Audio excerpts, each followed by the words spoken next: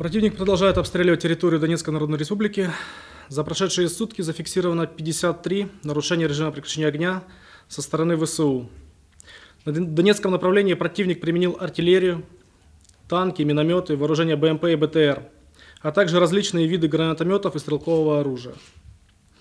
По прилегающим районам 13 населенных пунктов выпущено 6 артиллерийских снарядов калибром 122 мм, два танковых выстрела, 132 мины калибром 120 мм и 91 мина калибром 82 мм.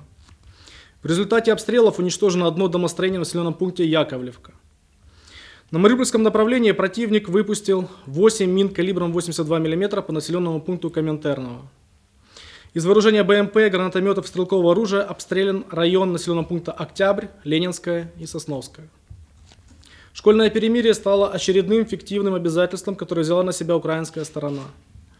Мы фиксируем увеличение количества нарушений со стороны позиций ВСУ и националистических подразделений.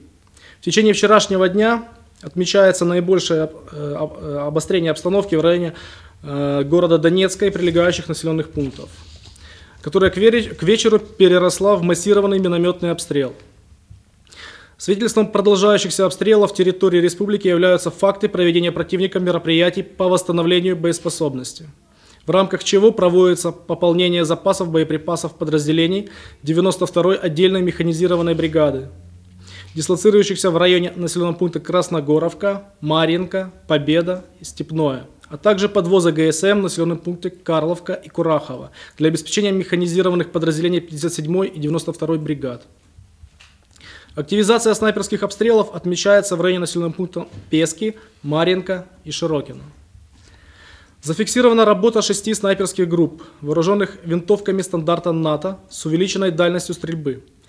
Перед выполнением боевых задач им ставится задача наведения прицельного огня по рядовому составу и местному населению республики с целью спровоцировать нас на ответный огонь.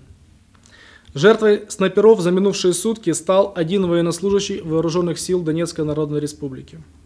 К тому же, по поступившей информации от, от населения населенного пункта Зайцева, на подконтрольной Украине территории в районе данного населенного пункта отмечено прибытие до 20 иностранных наемников. Из сообщения следует, что прибывшие наемники англоязычные, э, личный состав вооружен снайперскими винтовками и оборудованием для стрельбы в ночных условиях. Украинские силовики на фоне заявления руководства страны о повышении денежного довольствия для личного состава, выполняющего боевые задачи, пытаются заработать свои кровавые бонусы. Мы с прискорбием отмечаем, что украинское руководство направляет все свои усилия для мотивации боевиков ВСУ на убийство народа Донбасса. Доносим эту информацию до международных наблюдателей.